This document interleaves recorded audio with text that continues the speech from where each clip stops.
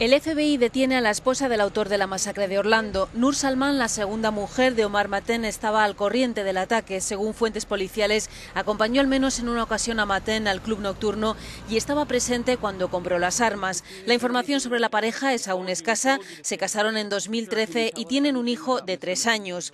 No se ha confirmado si será juzgada por complicidad en la masacre que acabó con la vida de 49 personas. Entre los supervivientes conmocionados e impresionados, Ángel Santiago recibió dos impactos de bala en el pie. Ha relatado ante los medios la angustia a la que les sometió Matán. Para mí, que soy gay, ir a un pub como Paul's es como ir a un refugio seguro.